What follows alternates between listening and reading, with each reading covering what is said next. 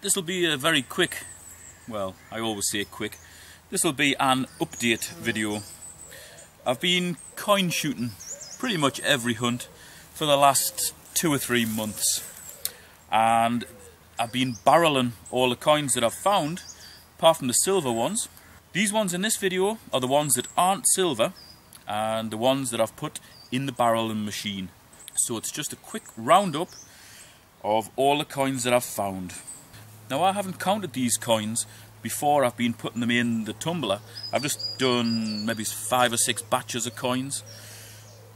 I've basically separated them out and now I'm going to film them and then count them, tot up what I've got uh, and I might be quite surprised.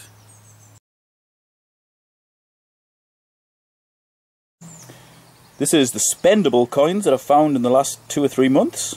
Here we go on the spendables. Starting with the highest ones, we've got pound coins. Actually, I've just realised I haven't found any two pound coins, which is a bit strange.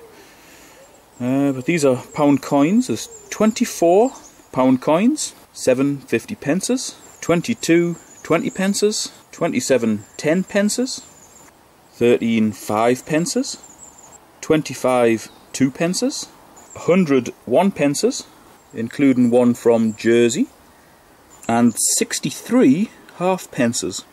And those fellas add up to a grand total of 37 pounds and seven and a half pence. 281 spendable coins. Okay then, here's the pre-decimal coins that I've found.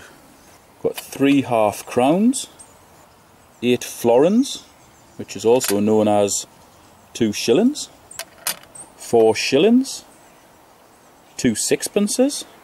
Now you'll notice that the sixpences, shillings, florins and half crowns are not bright silver. That's because they're not silver, they're cupro nickel. All those ones there are post 1947. So when you get a pre 1947 coin of, from those denominations, they're 50% silver, pre 1920 they're sterling silver. So after 1947 they generally come up, well they always come up orangey. So if you see them being dug bright silver, just ignore that. They come out the ground looking manky. You can polish them up a little bit, but you never get them back to that really bright silver that they would be when they were first minted. In a similar way, our modern 10 pences and modern 50 pences, they can lose that silvery sheen to them within six months of being outdoors. And certainly when they're in the ground after a year, they can come up and be absolutely knackered. 23 threepenny bits, 34 pennies, including two Irish ones, 36 half pennies, 16 totally blank coins, which are most likely half pennies and farthings, 4 cartwheel pennies, 2 George III pennies, and a mixture of George III and George II half pennies, and 4 George II farthings. These are a few of the more unusual things that I've found. That one's a token from the 1700s. That's a one franc coin. That's a halfpenny with I. Dowson stamped into it. I think that's a Hanover token. These ones are Charles the First. Oh, is it Charles the First or Charles the Second? I think Charles the First Bawbees, which is a hammered copper coin, and that's a farthing from Queen Victoria.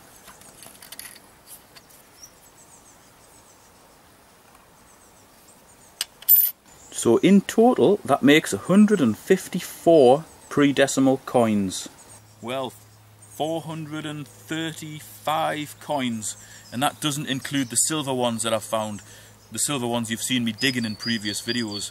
So 435, I've maybe found 12, 15, between 12 and 15 silver ones, maybe there's a few more. So that's about 450 coins um, in the last two or three months. Oh my.